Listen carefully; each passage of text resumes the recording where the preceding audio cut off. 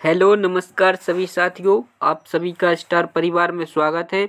इसमें हम eight grade अभ्यास पुस्तक कक्षा आठ, पाठ है तीन, मध्य प्रदेश की संगीत विरासत।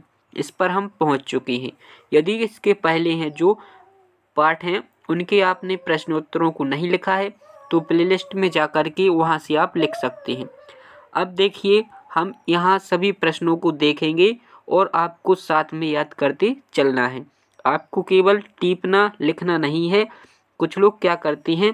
टीपते जाते हैं, टीपते जाते हैं, याद करते नहीं हैं, जिससे उन्हें कुछ याद नहीं रहता। आपको लिखना है और याद भी करते चलना है। देखिए पहला प्रश्न, क्या है?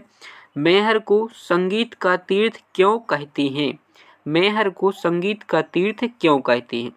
तो उत्तर में हम लिखेंगे, प्रख्यात सरोद वादक उस्ताद अलाउद्दीन खां। ने मेहर को संगीत की ऐसी परंपरा दी जो आज भी कायम है। इसलिए मेहर को संगीत का तीर्थ कहा जाता है। अब देखिए, प्रश्न अगला है, लता जी की सफलता का मूल मंत्र क्या है? लता जी की सफलता का मूल मंत्र क्या है? इसके उत्तर में हम लिखेंगे, उनकी इच्छा शक्ति ही उनकी सफलता का मूल मंत्र है। तो क्या है उनकी जो इच्छा शक्ति है? उनकी सफलता का मूल मंत्र है। जिस समाज में, जिस जो समाज में कला का स्थान नहीं है, वह कैसा हो जाता है? जिस जो समाज है, उसमें कला का स्थान नहीं है, वह कैसा हो जाता है?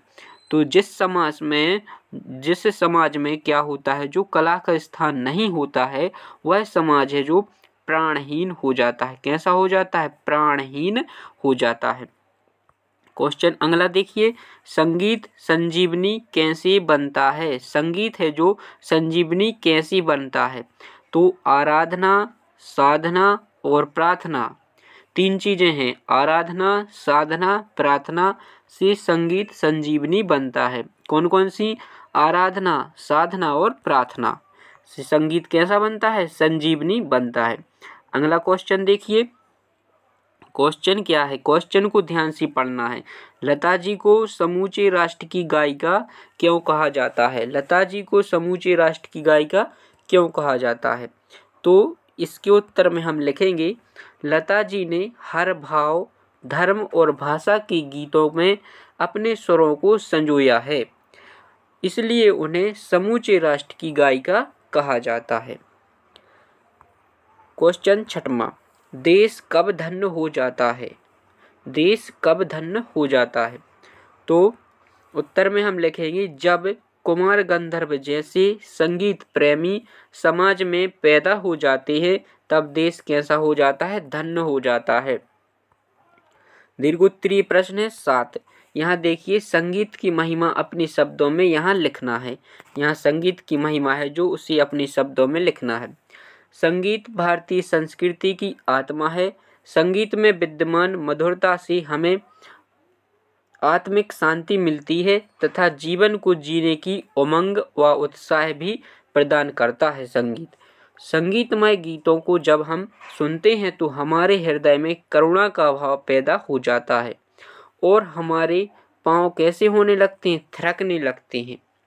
संगीत का वास्तविक महत्व तब हो जाता है जब संगीत की शास्त्रीयता साधना बन जाती है। जो संगीत की शास्त्रीयता है, वह साधना बन जाती है। इस प्रकार से जो संगीत की महिमा है, हम अपने शब्दों में यहाँ लिख सकते हैं। अब देखिए, यहाँ जो मूल्यांकन क्वेश्चन है। संगीत की मध्य प्रदेश की जो संगीत अकादमी, उस्ताद अलाउद्दीन खां के नाम से क्यों है?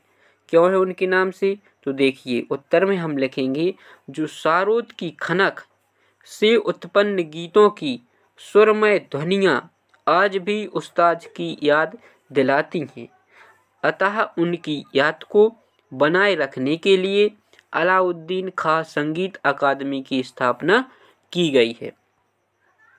अगला क्वेश्चन समाज, जो समाज है प्राणहीन कब हो जाता है? हमारा समाज है जो प्राणहीन कब हो जाता है? जब समाज में कला का स्थान नहीं होता, तब समाज प्राणहीन हो जाता है। दीर्घोत्तरीय प्रश्न है, देखिए, मध्य प्रदेश से जुड़े किसी एक संगीतकार के बारे में कम से कम दस पंक्तियाँ लिखना है। देखिए तो मध्य प्रदेश से जुड़े एक संगीतकार के बारे में हमें दस पंक्तियाँ लिखनी है। हम यहाँ लिखेंगे तानसेन के बारे में। देखिए, महान संगीत सम्राट। तानसेन का जो जन्म है, कहाँ हुआ था? ग्वालियर के निकट बेहट गाँव में हुआ था। इनका जन्म है जो पंद्रह सौ बत्तीस ईस्वी में हुआ था। अब तानसेन का जो पुराना नाम, वास्तविक नाम क्या था? रामतनु पांडे था। स्वामी हरिदास उनके क्या थे? गुरु थे। तानसेन एक गायक वादक थे। जिन्होंने कई रागों का क्या किया? निर्माण किया। वे अकबर के नवरत्नों में से एक थे। जब तानसेन दीप राग गाते थे तो दिए जल जाते थे और वे राग मेघ मल्हार गाते थे तो बारिश होने लगती थी। इस प्रकार से जो तानसेन है, संगीतकार के बारे में हम उनकी पंक्तियाँ कुछ लिख सकते हैं। इस प्रकार जो हमारा पाठ था, उसके जो क्वेश्चन थे, संपूर्ण कंप्लीट कर लिए हैं।